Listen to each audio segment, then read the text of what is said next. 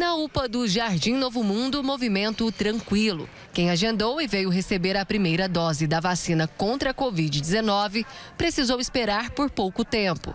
Foi o caso do Antônio, de 56 anos de idade e que é hipertenso.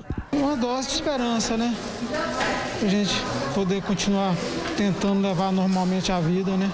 Sônia também tem hipertensão e mais de 55 anos.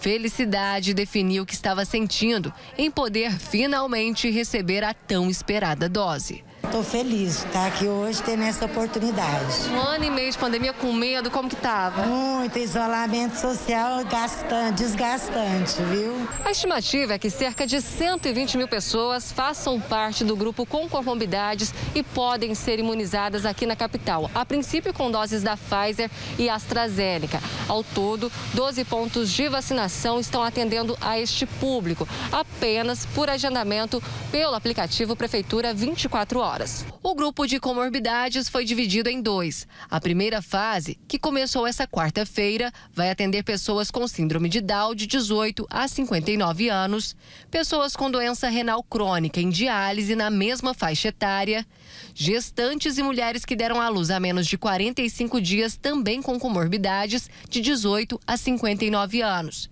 Aquelas pessoas com doenças como hipertensão e diabetes também serão vacinadas na primeira fase, mas apenas aquelas com idade entre 55 e 59 anos.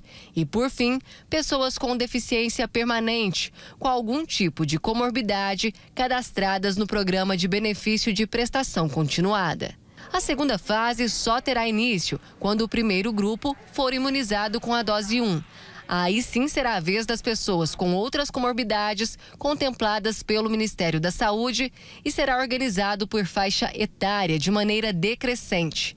Grávidas, puérperas e pessoas com deficiência permanente cadastradas no BBC, independente de doenças pré-existentes, também serão imunizadas. Se a pessoa tiver, é, puder trazer o formulário carimbado e assinado pelo seu médico, né, ela já vai ter um atendimento mais rápido, né, a triagem vai ser mais rápida e ali já está garantido que ela faz parte do grupo, porque ali tem todas as doenças que são inclusas pelo Ministério da Saúde. Mas se ela tiver um laudo, por exemplo, de diabetes, ela é diabética, ela já tem esse laudo, ela não precisa preencher esse formulário, ela pode trazer esse laudo também que ela será atendida. Na última terça-feira, a capital recebeu 17 mil doses da vacina vacina Pfizer.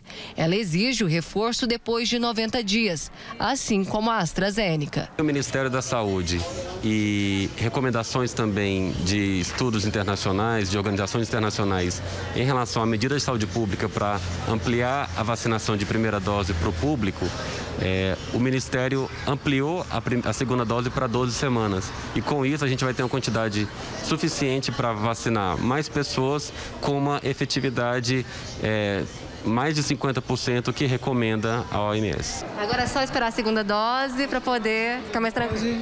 Ficar mais tranquilo. A vacinação para idosos e profissionais da saúde também continua sendo realizada. Né, a gente tem quatro pontos de vacinação para os trabalhadores de saúde para a primeira e a segunda dose, a partir aí de 18 anos, 100% agendados.